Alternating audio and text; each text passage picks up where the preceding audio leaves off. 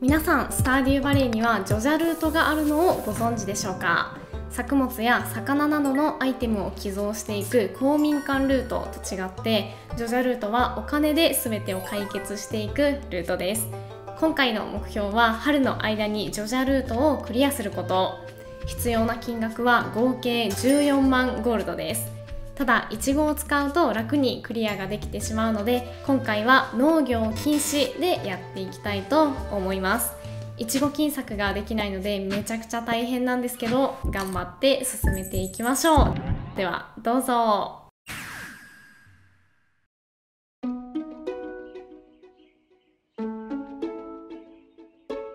まず前半の目標はトロッコを修理すること。そしてカリコ砂漠行きのバスを開放することです。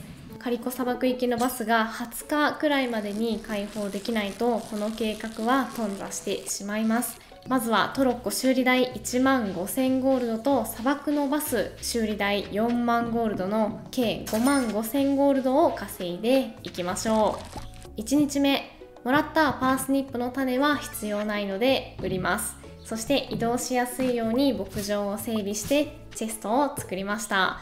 これでいろんなものを保存しておけますね。森に行って採取できそうなアイテムを全て集めていきます。タンポポ2つと葉玉ねぎをたくさんゲットしました。海へ向かいます。砂浜では実は粘土がたくさんゲットできます。出ない。出ない。出な出ましたね。出たところの斜め上のマスを掘っていくとなんと粘土が連続で出るようになります。今日は99個集まったのでよしとしましょう。キャロラインにラッパ水栓をプレゼントして今日はお休みです。2日目今日も拾えるものはくまなく拾って粘土を売ったお金で大きなカバンを買いました。これでたくさん物を持てるようになります。ついでにキャロラインとお話もしておきましょう。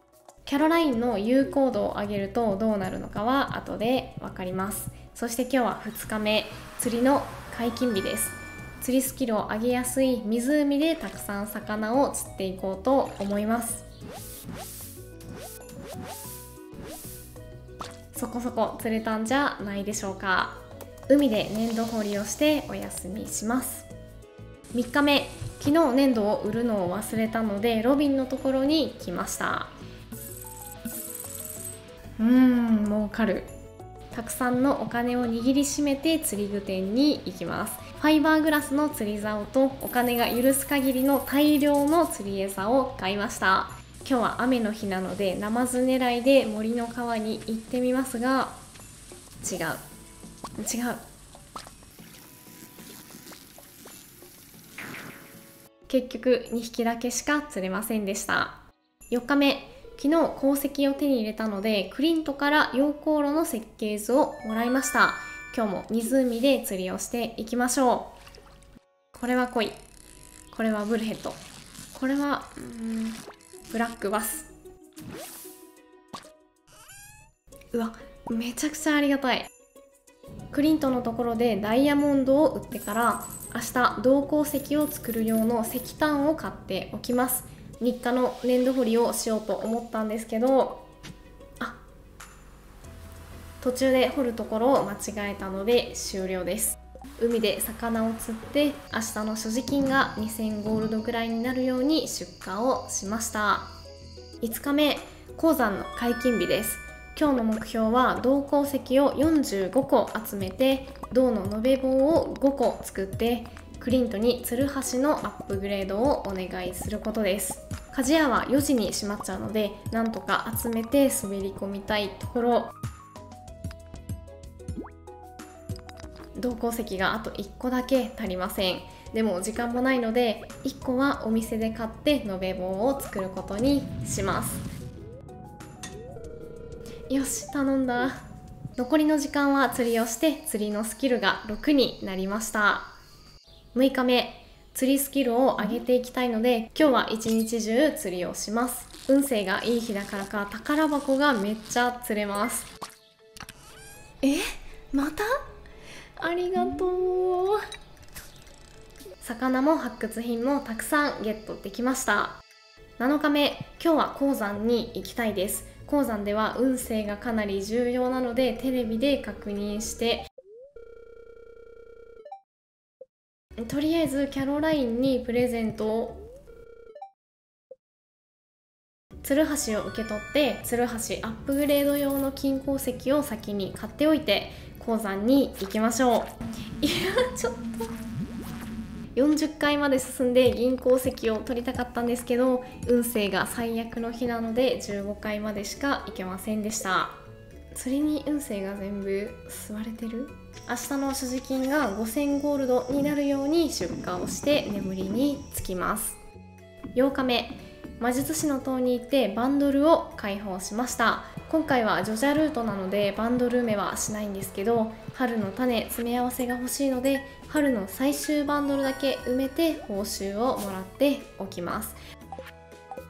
そして鍛冶屋で銀鉱石を20個買って鉄の延べ棒を作って5個揃ったのでツルハシのアップグレードをお願いしました。9日目釣りをします。今日もたくさん宝箱が釣れました。やっぱ釣りの日だけ運勢がいい。10日目鶴橋の受け取り日です。本当は今日鉱山に行きたかったんですけど運勢が一番悪い日です。代わりに粘土掘りと釣りをしてアイテムを売りさばきました。これで明日の所持金が1万2000ゴールドになるはずです。よし。11日目。金鉱石を溶鉱炉に入れて金の延べ棒を作っている間に粘土掘りに行きます。今日は2時まで粘土を掘って89個の粘土が集まりました。89個だと1780ゴールドですめっちゃ儲かる金の延べ棒を回収してツルハシのアップグレードをお願いして残りの時間はもちろん釣りです。宝箱からイリジウムバンドとダイヤモンドが落ちました。釣りに愛された人生。12日目今日も日課のお花ネギ集めをして湖に向かいます。ここにいる時間正直家よりも長い。ここのブクブクポイントは魚がかかるまでの時間を4倍早くしてくれるので積極的に泡に投げていきます。そして釣りをし続けてスキルレベルが9になりました。13日目金のつるはしを取りに行こうと思ったんですけど今日は春の13日エッグフェスティバルでした。運勢のいい日だったのに。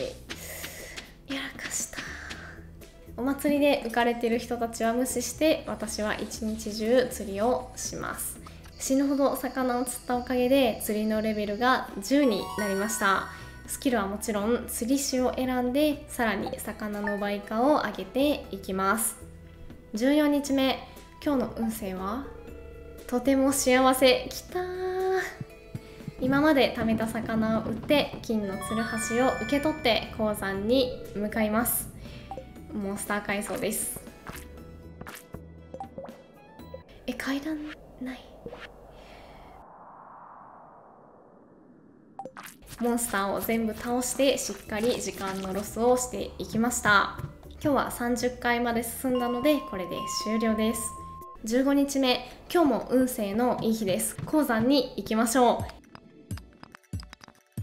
木のハンマーをドロップしました。これは今使ってる鋼鉄の片手剣よりも強い武器なんですけどドロップしたことに気づいていません。55回まで到達したので今日はベッドで休みましょう。おやすみなさい。16日目今日はやることがたくさんあります。まずはさっき採取したラッパ水仙をキャロラインにプレゼントします。絶対土まみれそして斧のアップグレードをお願いしました。春の15から18日はサーモンベリーがたくさん取れるので収穫していきましょう。序盤の貴重な回復アイテムです。それからジョジャマートに来ました。ジョジャでもっと素敵な暮らし。ジョジャマートへようこそ。会員登録なさいますか？はい。ジョジャマートの会員になりました。今日はやることはだいたい終わったので牧場の雑草を刈り取って釣りをしてん？ゴミしか釣れない。寝ました。17日目今日は運勢が微妙です。鉱山に行けません。まずはサーモンベリーを収穫して回復アイテムを増やして粘土掘りをしてお金を稼ぎます。124個集まりました。そして1万5000ゴールドでトロッコを修理しました。やったー。お金が全然ない。キャロラインにお花をプレゼントしてハートが2になったので明日イベントが見れるはずです。18日目今日は運勢のいい日です。鉱山に行く前に昨日釣った魚を売って斧を受け取ってキャロラインに会いに行きましょう。ここのドアを開けるとこれで明日プレゼントがもらえます。そして鉱山です。今日の目標は90回でしたが間に合わず83回で断念しました。19日目キャロラインからプレゼントが来ました。茶の苗木のレシピ。アップグレードしてもらった斧で木を切って茶の苗木を55個作って全部売りました。バス修理代まであと3000ゴールド。持っていた回復用のイリジウム茶部を売って4万ゴールドが揃ったのでカリコ砂漠行きのバスの修理ができました。あとは鉱山を120回まで進めるだけです。明日の運勢に期待して寝ましょう。おやすみなさい。20日目。運勢はそこそこいい日。今日は絶対に最下層まで行きたいです。午前7時90回。午後1時98回午後9時110回いけるか。午前1時半115回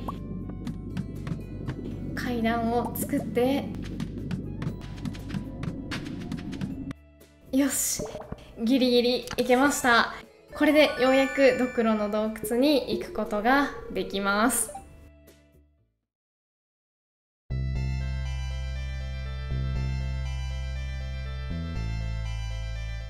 ドクロの洞窟ではイリジウム鉱石が手に入ります。鉱石をそのまま売ると100ゴールド。延べ棒にして売ると1000ゴールド。さらにスキルレベル10で鍛冶屋を選ぶと倍価が50%上がって1500ゴールドになります。ジョジャのバンドルは残り3つ。合計8万ゴールドが必要です。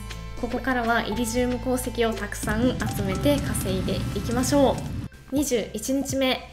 運勢は悪くない日なのでドクロの洞窟に行く準備をします。バスは10時からしか動かないのでその間にチェストの整理をしました。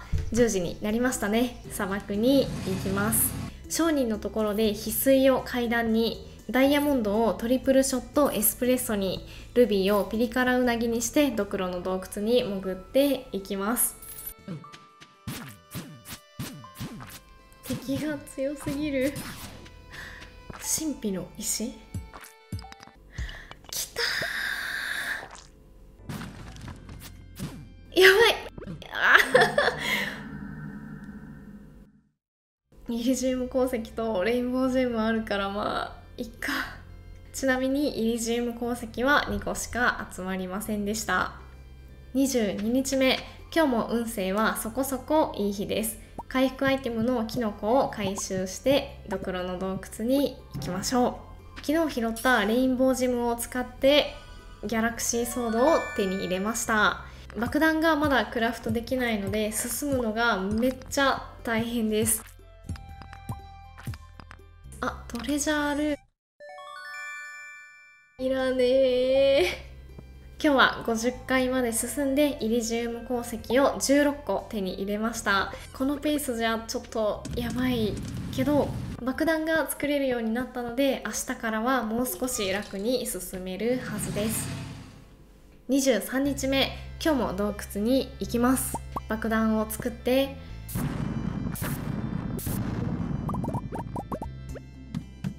集まったイリジウム鉱石は66個まあまあの収穫ですね。しっかり延べ棒にしていきましょ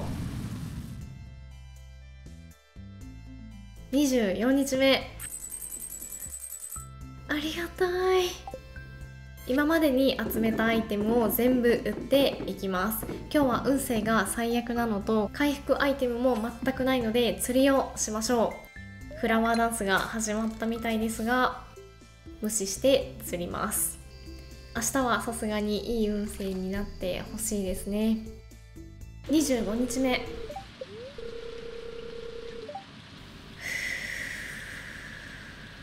宝箱狙いでアーティファクトトログを開けてみましたが。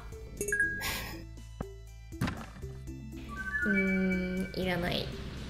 貯まったお金で橋の修理をしていらない武器を全部売って回復用のサラダを買いました。今日は雨の日ナマズが釣れます。ナマズ狙いで川釣りをしていきましょう。あ合計8匹釣れました。ジョジャルートクリアまであと5万5000ゴールドです。26日目今日の運勢は？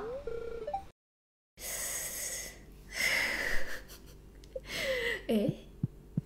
運勢は悪いですがあと3日しかないので洞窟に行かないとやばいです。キノコを拾って洞窟に行きましょう。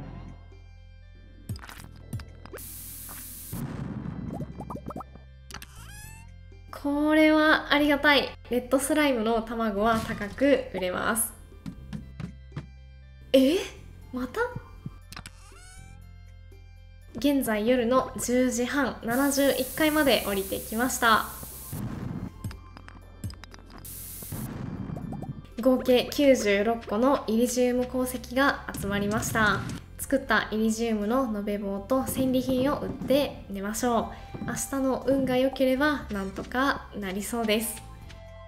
27日目。今日の運勢は悪くないですね。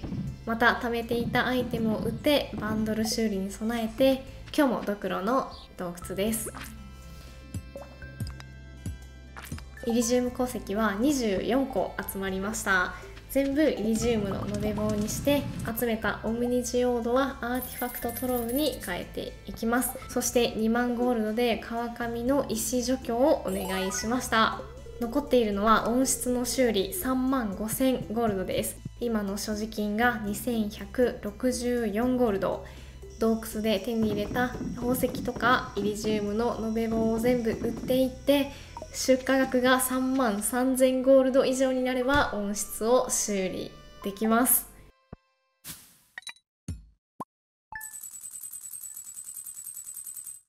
きたー。28日目。昨日買ったアーティファクトトロを開けて博物館に寄贈をしてさらに持っていた鉱石を全部売ります。そして3万5000ゴールドで温室の修理をお願いしました。これでジョジャルート達成です。挨拶をしてない住人がいたので挨拶をしておきましょう。はじめまして。こんにちは。テレビでも見て今日は早めに寝ましょう。おやすみなさい。